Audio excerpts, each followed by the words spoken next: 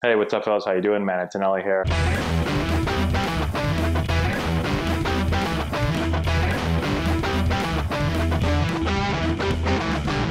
Hey, what's going on, guys? How we doing? Matt Antonelli here. Today we're talking about the golf swing and does the golf swing mess up your baseball swing? This is something you've probably heard. If you're a baseball player, or parent, or coach, you've probably heard this for a really long time. Um, and in my experience, is it true? Have I seen this kind of happen where golf swings mess up baseball swings? So let's get into it.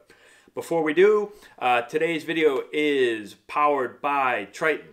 We use Triton jerseys and gear with our Antonelli baseball teams. We've worn them for a while now. They do a great job. Go and check their stuff out. Uh, CustomBaseballJerseys.com. You'll be able to see exactly what they do. I highly recommend that they do a great job. Okay, so um, the golf swing and the baseball swing. You hear this all the time. At least I do. Put in the comment section below if you've heard this. Hopefully, I, I think everybody has heard this. Um, I didn't play really. I didn't play any golf when I was younger, and it was always because I was afraid that it was going to screw up my baseball swing. Right? I didn't actually start golfing a little bit until my baseball swing was so screwed up that I was like, well, what does it really matter? I can't screw it up anymore. Let's go golf. Um, and then I realized I stunk at golf. So I was like, forget golf. Maybe I'll go back to trying to figure out my baseball swing. Um, so I've actually I've seen this both ways, okay? And let's just say this. I don't know if there's any scientific data out there that says yes, it absolutely screws it up or not. Uh, but I know that I've seen it both ways. So I've seen a lot of baseball players that um, have great swings, guys that have been all stars, guys that just absolutely rake baseballs, and they go out and play golf all the time. And clearly has no effect on their baseball swing. Doesn't hurt it at all. Maybe it helps it. Maybe that was my problem. I should have played more golf. Um, but especially in spring training, you see this a lot. Usually, when spring training practice ends and you're getting ready for the game, like pitchers that don't play in the game go golfing. And position guys that aren't starting that day, that day go golfing. Like everyone, it's like, okay, practice is over, and it's either yeah, you're gonna go get ready to play in the game, or you're gonna go golf okay? And it's it's a lot of pitchers because those guys, you know, a lot of pitchers don't play in a lot of the games, so they go golf. But it's a lot of position guys that aren't playing that day, they go golf too. Okay? And again, it's a lot of really good players, major league players that going that they're going and they're golfing. Now, you'll see some guys that say that don't golf and they're just like either yeah, I don't like golf or, you know, I'm not golfing during the baseball season. Um, and again, it's usually because they think it might screw up their swing. Uh, so you see it kind of both ways. Now, I've also seen some golfers and and this is this happens more especially at the younger levels like now that I'm coaching I work with a lot of baseball players that also golf. So you see some guys that golf in the fall for their high school team and then they play baseball in the spring. And I'll work with a lot of guys in lessons where you know, we'll start working and I'll look at their swing and be like, hey, do you play golf? And usually when I say, like, hey, do you play golf?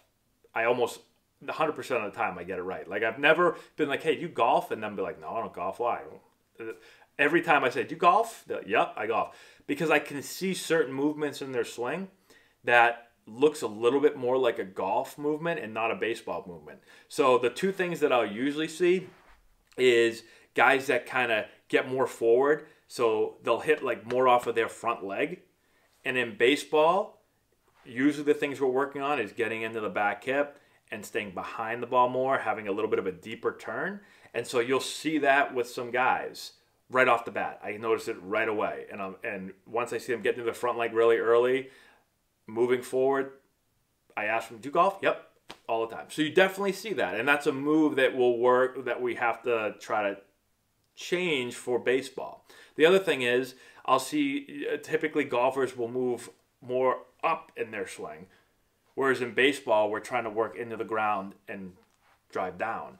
Um, and so that's another thing that I'll see. And again, I pick it out right away.